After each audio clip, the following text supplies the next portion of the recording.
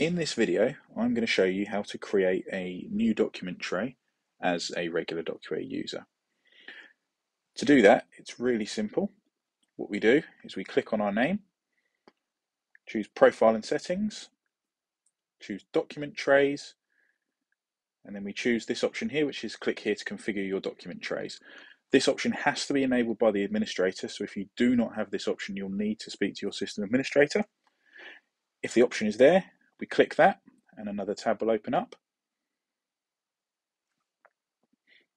Already in the document tray section, so we go to new document tray. At the top we give it a name.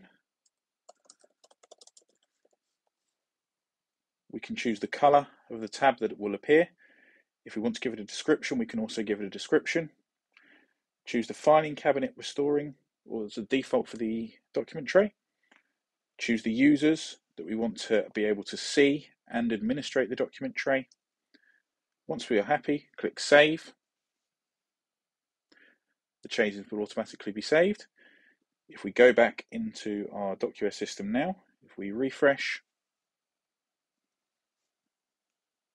we will see we now have the additional document tray. Thanks for watching.